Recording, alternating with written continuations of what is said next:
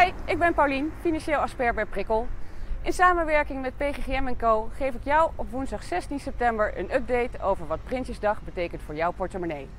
Hoe zit het bijvoorbeeld met de belasting en met de toeslagen in 2021? Of wat betekent een miljoenennota voor jou als zorgprofessional? Dit en meer vertel ik je graag tijdens het gratis webinar. En heb je zelf vragen, dan kan je die natuurlijk ook stellen. Dus meld je snel aan, dan zie ik je graag de 16e.